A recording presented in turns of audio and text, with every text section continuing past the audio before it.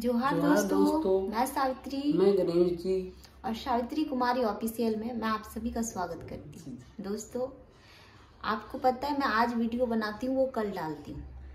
इस तरह से होती है। वो जो कल बनाते और- हैं हम परसों डाल दें जी और कभी कभी क्या होता कि जैसे कि हो गया पतंग उड़ाए मकर संक्रांति। हाँ। तो उस दिन वो वीडियो उसी दिन बनाए उस दिन और इसलिए डाल दी क्योंकि उसी दिन उसका महत्व है ना। जी इसीलिए। और आप आप लोग सब बोलते हो कि सावित्री बोलती है कि इतना मेरा तबीयत खराब है इतना तबीयत खराब है। और फिर भी ये वीडियो बनाती है। तो भाई वीडियो बनाना हमारे लिए बहुत ज़रूरी है। खास करके जो यूट्यूबर है जो यूट्यूब के माध्यम में काम कर रहे हैं वो समझ जाएँगे।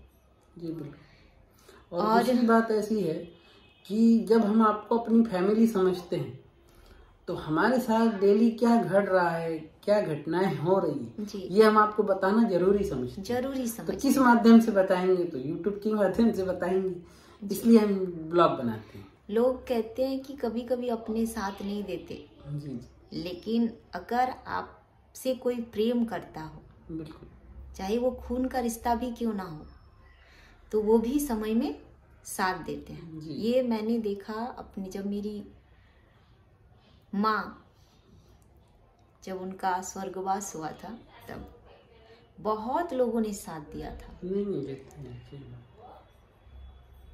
अपने तो है ही लेकिन जिसको हम लोग नहीं जानते थे बस यूट्यूब के माध्यम से वो हमें देखते थे। उन्होंने जो इतना सपोर्ट किया इतना सपोर्ट किया कि वो हम लोग शब्द में बयां नहीं कर सकते। तो वैसी सिचुएशन कुछ मेरे साथ हुआ है।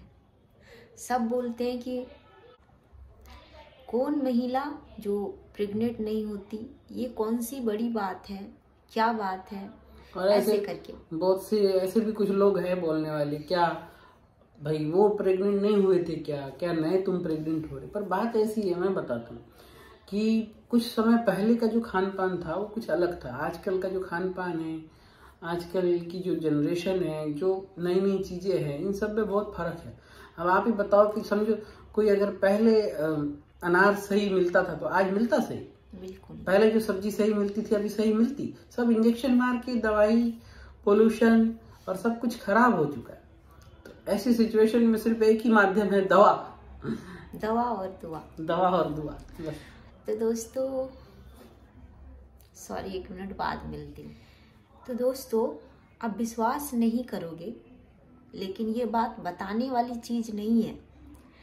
लेकिन एक एक दिन मेरे लिए मेरे अंदर में क्या चल रहा है ये मैं आप लोग को अभी तक नहीं बताई नहीं एक एक दिन ये भी बात सही एक एक दिन जो है हर प्रेग्नेंट महीना महिला के लिए पूरे नौ महीने काफ़ी तकलीफ़ वाले रहते हैं ऐसे हमने सुना और मेरे साथ जो हुआ है सही बात। वो मैं अगर कोई महिलाएँ हैं शायद मेरे दर्द समझ पाइएगा। दोस्तों सबसे पहले मैं बता दूँ डॉक्टर के पास गई थी और ये हो गया एक सप्ताह पहले की बात है। डॉक्टर के पास गई मैंने अपना प्रॉब्लम बताया और वो लेडीज़ डॉक्टर है जिससे मैं अपना अभी फ़िलहाल के लिए जो चेकअप करवा रही हूँ जो मेरा इलाज कर रहा है। कर रही है। हाँ महिला है। और मैंने उनसे कहा कि मेरे साथ ऐसा ऐसा हो रहा है मुझे ये प्रॉब्लम हो रही है। तो मुझे उन्होंने चेक नहीं किया। तब जो होता है मुझे थोड़ा देखिए क्या प्रॉब्लम है क्या हुआ है उस जगह को अच्छा से देखिए। उसने दवा लिख दिया है जो ये मैं अभी यूज़ कर रही हूँ और ये दवा दिया है। तो आप विश्वास नहीं करोगे, मैं पंद्रह दिन से इस दर्द से गुजर रही हूँ। कुछ नहीं खाती हूँ, सिर्फ़ नींबू पानी। नींबू पानी, नमक देके। पानी पीने बोलते कि पानी खूब पियो। खाती हूँ, जो भी खाती हूँ, निकल जाती है, आप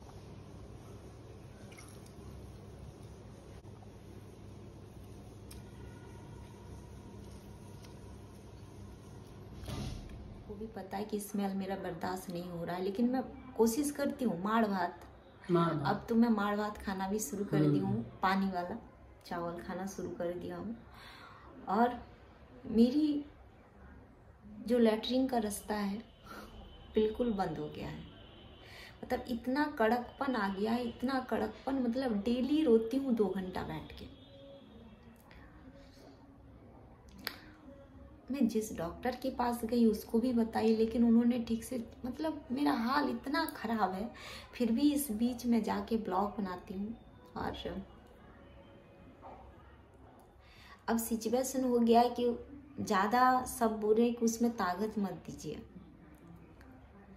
अब मैं इसको रख। मतलब ऐसा सिचुएशन हो गया है कि हमको लग रहा है उस वजह से मेरे बच्चे पे कुछ असर ना हो। डेली यूट्यूब पे वीडियो देखती हूँ कि मुझे क्या करना चाहिए क्या खाना चाहिए कैसे रहना चाहिए। डेली वैसे मैं बताऊँ। और ऐसा मतलब इतना घाव हो गया है मुझे लग रहा है कोई दूसरे तरफ़ संकेत तो नहीं ना दे रहा है। कोई दूसरा बीमारी तो नहीं ना मुझे हो जाएगी। मतलब मैं इस पार ना उस पार बीच में फंस गई हूँ समझ ही नहीं आ रहा है कि मैं क्या करूँ। तो दोस्तों मैं ये बात पंद्रह दिन तक अप, अपने अंदर रखी। आज मैं आप लोग को खुल के बताई ये प्रॉब्लम मेरा अभी चल रहा है। अभी तक कोई हल नहीं हुआ है। कुछ भी नहीं। डॉक्टर के पास गई तो चेक ही नहीं किया तो अब मुझे उनके पास जाने की इच्छा भी नहीं हो रही है। क्या बताऊँ मैं उनको जाके?